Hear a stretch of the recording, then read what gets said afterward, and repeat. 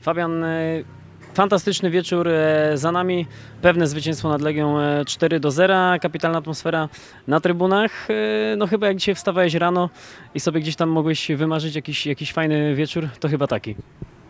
No tak jak mówisz, no marzyłem o tej jeszcze jednej asyście, asyście i tej bramce musiała, ale niestety minimalny spalony, ale tak jak mówisz, no można było sobie wymarzyć taki, taki, taki wieczór dzisiaj tutaj na stadionie i, i no i tak jak marzyliśmy, tak, tak zostało to wszystko zrealizowane.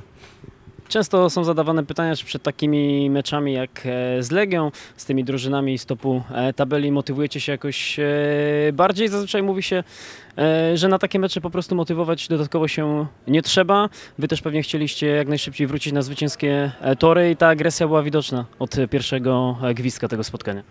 No tak jak mówisz, na takie mecze no, nie trzeba się dodatkowo motywować. No, też chcieliśmy się zrehabilitować po tej porażce z Krakowią, tym niefortunnym meczu dla nas i, i dzisiaj udało nam się, udało nam się. No, wygraliśmy mecz i cieszymy się, że wróciliśmy na tą ścieżkę zwycięstwa. I miejmy nadzieję, że, że już teraz e, w następnym meczu podtrzymamy tą pasę. Możecie sobie przybić piątkę dzisiaj z Bartkiem e, Nowakiem, e, no bo ta podwójna zmiana wyszła kapitalnie, bramki, e, asysty.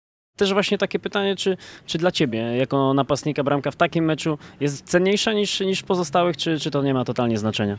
Nie, nie ma znaczenia. Każda bramka, która daje punkty, która daje nam e, zwycięstwa jest dla mnie tak samo ważna i cieszę się, że właśnie dzisiaj z Bartkiem daliśmy takie zmiany. Mm, No i co mogę więcej dodać? No, oby takich zmian i takich, takich meczy było więcej. Fabian, gratuluję zwycięstwa, gratuluję bramki, asysty i dzięki za rozmowę. Dziękuję bardzo, pozdrawiam.